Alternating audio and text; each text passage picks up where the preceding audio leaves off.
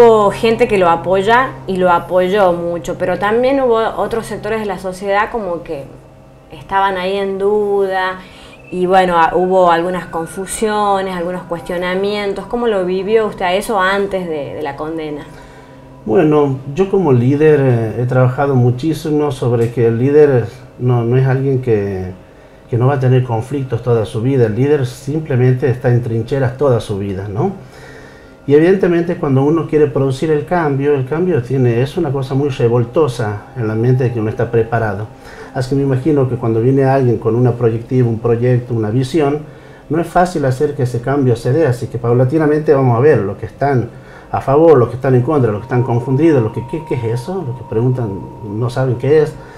Y bueno, va a haber que liderar toda esa incertidumbre hasta llevarla a buen puerto, ¿no? Que eso, creo que eso es el desarrollo del que estamos hablando. A la gente le pasó esto. Es muy importante que yo me dé cuenta que cuando pongo una visión en la sociedad o voy a hacer algo diferente, voy a tener los que estén a favor y en contra.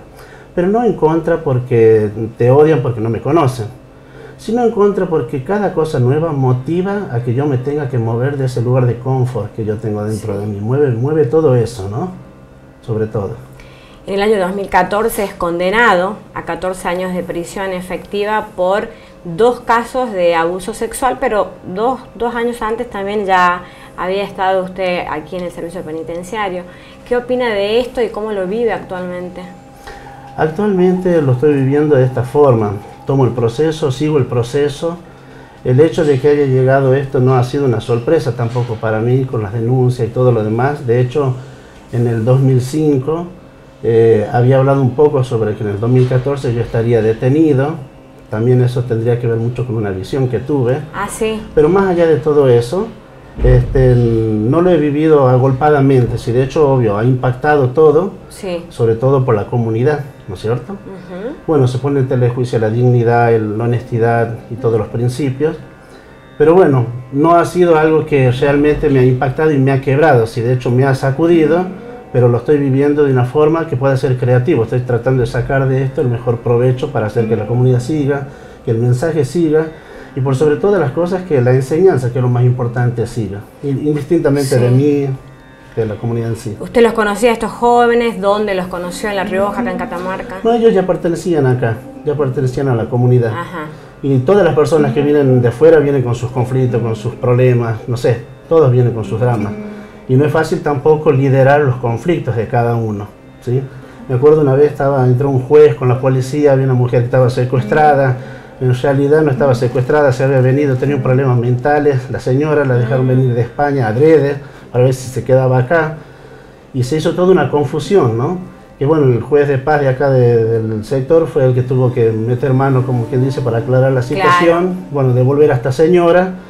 Y la gente siempre a la comunidad llega por muchos motivos, ¿no? Sí.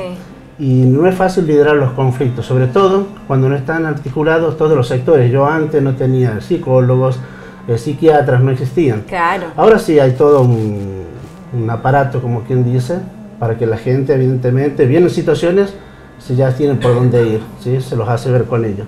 Pero antes no, antes era como yo solo con el equipo que había, definir, en fin, todas las situaciones estas.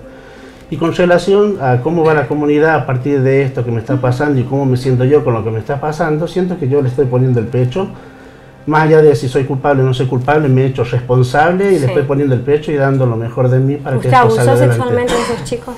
No he abusado sexualmente específicamente de esos chicos creo que la pregunta abusar eh, es muy bueno para deteriorar la visión de alguien, ¿sí?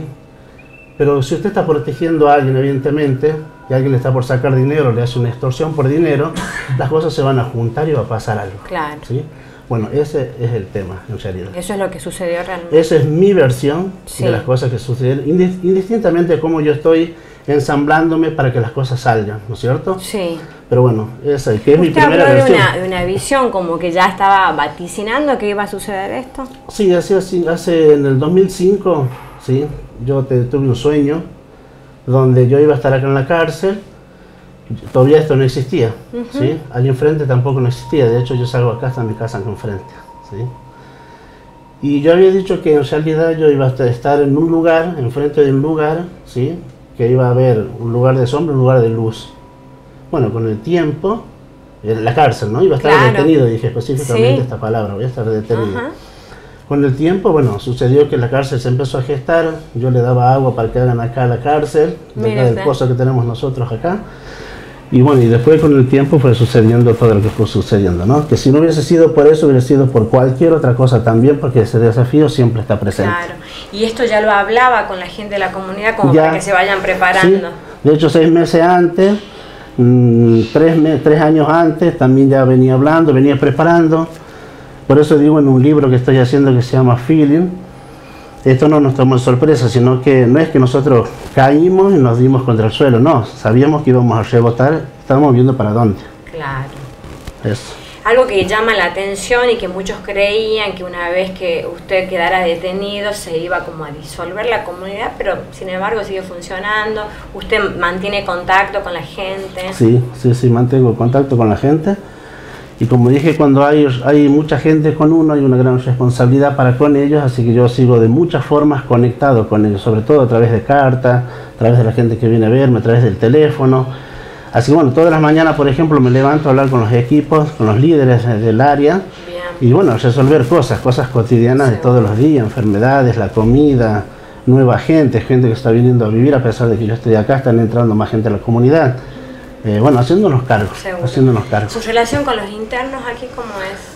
Y es una relación muy, pero muy buena. La verdad es que, me llevo muy bien con todos los internos. No puedo decir que tengo un enemigo. Puede que sea alguien no esté en favor de, que yo esté vestido de amarillo, por, ejemplo. ¿Qué le dicen? ¿Le dicen algo de la vestimenta? Ah, siempre me preguntan por qué me visto de esa forma. ¿sí?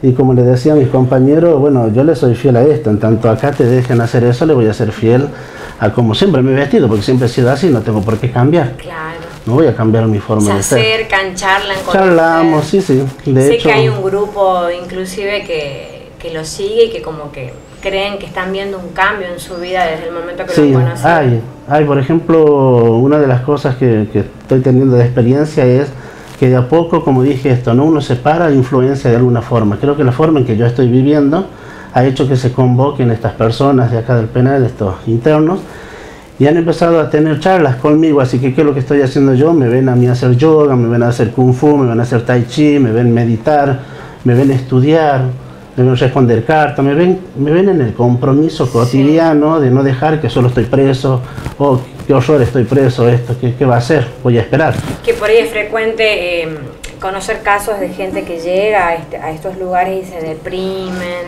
como que se les termina la vida. Usted lo ve de otra forma y en parte esta gente también como que quiere imitar estas actitudes. Sí, aparte evidentemente yo no entré sin recursos. Yo soy una persona que tengo que reconocer que tengo recursos internos, perceptivos, que eso hace la diferencia evidentemente. Si no hubiese caído estrepitosamente también en esa misma situación. Aparte es muy cruda la realidad de acá porque los chicos indistintamente aquellos han cometido una falla, ¿sí? porque ellos no son, no son fallados, sino que se comete una falla, ¿no es cierto? Que se va a modificar. No son chicos que estén instruidos, tengan buenas familias constituidas, tienen, muchos de ellos son de familias muy disfuncionales. Entonces no es fácil para ellos tampoco lidiar con, con, la angustia. Todos los días uno siente angustia, ¿no? Ayer ¿Cree que los está ayudando a ellos? ¿Cómo? Cree que los está ayudando, que puede ayudarlos? Sí, siento que gran parte de las cosas que hago va en esa dirección. Siento que sí. Siento que lo que estoy haciendo no es tan solo conteniéndolos, porque necesitan contención, ¿sí? de alguna forma, sino que también le estoy permitiendo de que ellos usen sus propias herramientas, que descubran que ellos también pueden hacer lo que hice yo o cualquier otro, lo pueden ellos también hacer. Cuestión de que se relajen confíen y se den cuenta que hay herramientas dentro de ellos, capacidades que de usarlas conscientemente les va a llevar a un éxito también, un resultado. ¿Cuántos años les queda? ¿Le queda a usted? Y yo hasta aquí son 14 años y como 10 años me está quedando. ¿Y está preparado? Y uno se prepara todos los días, todos los días se tiene que preparar. Eh, tengo que preparar a los líderes, tengo que prepararme yo, tengo que hacer que la obra funcione indistintamente de mí, porque si mañana me muero, nunca se sabe. Las cosas tienen que funcionar, o sea, el propósito nunca ha sido captar gente, cantidades, sino que se entienda la intención del principio de desarrollo humano. ¿Qué opina de la justicia catamarqueña? ¿Qué opino? Bueno, conozco a mucha gente de la justicia, buena, linda, consciente, que tiene como principios muy bien instalados, como el principio de la dignidad instalada, pero también pienso de que hay un montón de cosas por modificar y cambiar en la misma justicia. No, no conozco de fondo más que por mi caso toda esta situación, de hecho sobre su causa menciono, menciono justamente en el libro, menciono un poco sobre eso, pero sí hay que cambiar un montón de cosas que articulan, sobre todo el hecho de que mm, las condenas no sean tan altas para las personas que en realidad han cometido delitos muy pequeños, ¿sí? que eso es como muy injusto comparado a otros que han hecho algo más terrible quizás les den condenas más livianas. Y también el hecho de observar la prueba y no los dichos, que remitirse más por las pruebas que por los dichos, ¿no? ¿Por qué cree que lo han condenado a usted? ¿Cree que hay intereses de por medio? Bueno, yo antes de estar preso, yo ya tenía problemas de que se me iba a meter preso. Quizás no por esto, pero ya había evidentemente todo un movimiento de que al maestro Amor los tenían que sacar un poco de juego porque estaba haciendo cambios. De hecho, cuando regalamos las ambulancias, las tres ambulancias para el departamento, eso movió muchísimo eso, ¿no? Como una, una empresa privada pudo hacer esto. Tenemos tres gestiones de políticos que han venido, se han pedido las ambulancias, no se han dado esta persona lo hace, ¿dónde está la plata? Y bueno, se hacen preguntas. Y esto molestó. Tanto es así que cuando se entregaron, las personas que tenían que estar ahí para entregar no, no estaban. ¿Por qué? No, porque era del maestro amor. Claro. Así que sí, creo que sí, sí. Y la última pregunta, ¿usted se considera inocente o culpable? Yo me considero culpable, sí, me considero culpable. Pero tendría que explicarle por qué pero es muy largo eso. Y creo que en poco tiempo sería difícil poder decir por qué. Y a eso, a eso sí le pongo yo el pecho día a día. Y por eso digo que construyo mi salir de acá, mi estar en la sociedad más adelante, a partir de demostrar justamente eso. ¿Pero culpable del delito o por ahí culpable de, del accionar o de lo que representa el maestro amor? Exactamente, culpable de lo que representa el maestro amor, ¿no es cierto? De todo el efecto que puede producir Recuerdo que una vez estaba en la comunidad, entró una moto, entró un, hombre en la moto muy enojado, entró y empezó a ver que tenían secuestrada a su mujer, a su mujer, a su mujer. Entonces lo miré y le dije, ¿por qué te crees que yo secuestre a tu mujer? Y me dijo, ¿y por qué es el maestro amor? Entonces la llamé a la señora, llamé a la otra señora que estaban allí y le dije, bueno, esta es tu señora, mira cómo está molesteada, cómo está golpeada, no te la voy a entregar, hace lo que quiera, denunciarme lo que quiera, pero yo no la voy a dejar salir del predio. Bueno, se fue, volvió, nosotros ya estábamos con la policía ahí, así que bueno, se fueron ellos, arreglaron con el juez, no sé qué habrán arreglado, pero bueno, estas son las situaciones que se generan por porque exista una persona así. Y va a seguir existiendo. No es que salgo de la cárcel y todo se vuelve a la normalidad, todo está bien. No, yo tengo pensado seguir haciendo modificaciones y cambios acá en Catamarca y eso va a seguir sucediendo, indistintamente de mí, como le estaba diciendo.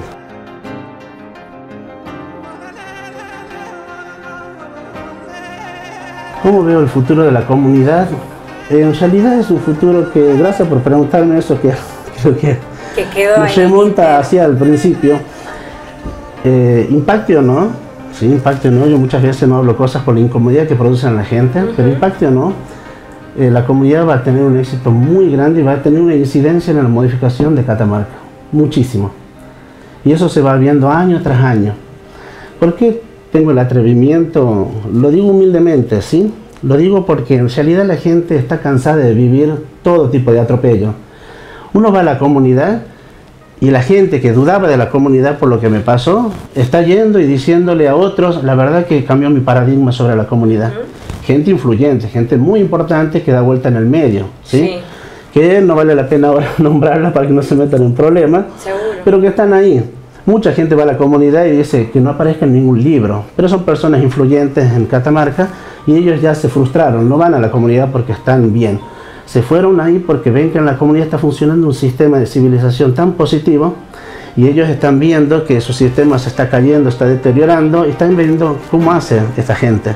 Trabajar cuatro horas y pasarlo bien todo el día, no, hay que trabajar mucho. Bueno, son cosas que se aprenden en la comunidad, trabajar menos para disfrutar más. Y uno no puede dejar de percibir lo que la gente es, ¿sí? La cordialidad, el amor que tiene, la dulzura que tiene, esto de querer conectar con el otro como humano de verdad. No, no pueden. Y es lo que yo hago también acá, ¿sí? Claro. Incluso los profesionales médicos de la comunidad hay mucha gente que ha empezado a asistir y a, porque no solo es la ayuda científica, digamos, sino también espiritual. Y se han empezado a ser más conocidos. Sí, está llegando mucha gente, sobre todo las ermitas. A las ermitas las vi cuando tenía mis seis años, por ejemplo. Que las dibujé en un papelito, ¿sí? que con el tiempo ese papelito fue durando, durando. Cuando esto apareció mi madre me dijo, la verdad hijo, ¿cuánto habrás sufrido que yo no te creyera? Y sí, en verdad que sí. Pero ahora, bueno, están ahí. Eran unas, unas cabanitas blancas que yo dibujé en una hoja y dije, mamá, en el futuro yo voy a vivir en estos lugares. Bueno, nada, ilusiones, el chico sufrió un impacto cuando era chico, se lo separó de la familia, por eso está así. Y hoy es realidad eso, ¿no? Hoy está la 108 ermita, está la comunidad, está la gente, están los lugares que había hablado hace un tiempo atrás. La gente me dice, ¿usted es profeta? ¿Usted profetiza las cosas? Y yo siempre les digo, nada, eh, yo observo. Soy un buen observador, me gusta observar hacia dónde va todo, dónde declina todo. Porque tengo muchos problemas, que me preguntó una vez un periodista, dice, ¿por qué cree usted que tiene tantos problemas? Y porque toda persona que no le gustan las cosas que son feas, cuando no nos gustan las cosas que están manoseadas, nos movemos. Tengo muchos problemas porque salgo de mi casa, no me quedo en mi casa. Y siempre lo tuve, cuando era pequeño con mis compañeros, por ser el líder de esto, de aquello. Siempre, siempre estaba mm, moviendo, como quien dice, el, el entorno para los cambios. Y Catamarca es un lugar donde la gente confía mucho en la vida materialista. Cuando en realidad la vida espiritual es muy simple. Yo no me puedo levantar en los 365 días del año a comer como un perro, a dormir como un perro, a parearme como un perro y a defenderme como un perro. Si de hecho el perro lo hace con garras y dientes, yo lo hago más sofisticadamente, pero no hace diferencia. Estoy viviendo como un perro. A menos que yo haga algo diferente. Y lo diferente nunca es en el estrado eh, materialista, ¿sí? Es en el ser. Es que me pasa, y cuando hablo del ser, no hablo del ser parecido a Buda o el ser parecido a Maestro Amor, no, hablo del ser de cada uno. ¿Cómo, ¿Cómo que es bonito buscar cómo es cada uno en su ser y descubrir eso? Así que si yo intento hacer un vínculo con alguien para que sea duradero, sí o sí me tengo que jugar, meterme a ese, a ese lugar. Si no, todo se pierde, todo se desvanece. La gente de la comunidad está muy unida y cada día está más unida. Y se va a seguir sumando gente. ¿Por qué? Porque más allá de todas las cosas negativas y oscuras que puedan pasar en el entorno de un líder, de una persona, ¿sí? hay una persona ahí que está en el corazón de ellos. Ya no estoy hablando del líder. hay una persona, que soy yo. ¿sí? Ellos habitan en mi corazón, yo habito en el corazón de ellos y eso se llama amor eso no se va a destruir. Porque si esto se tendría que haber destruido porque no fuera amor, ya estuviese destruido. Claro. ¿Sí? Cuando algún, asistente social de acá le preguntó en la calle a alguien, ¿y ustedes lo aceptarían de vuelta al maestro en la comunidad? Dijo, por supuesto. Claro que sí. A pesar de lo que hizo, le vamos a decir una cosa, le dijo. Cuando usted ama a su hijo, ¿sí? Lo va a tener que amar por las cosas buenas que él va a lograr no por las cosas malas que él vaya a hacer. Usted puede reconocer lo malo, pero tiene que reconocer lo bueno. Nosotros reconocemos lo bueno. Si todos cometemos errores, él lo va a superar, él es muy fuerte, lo va a superar.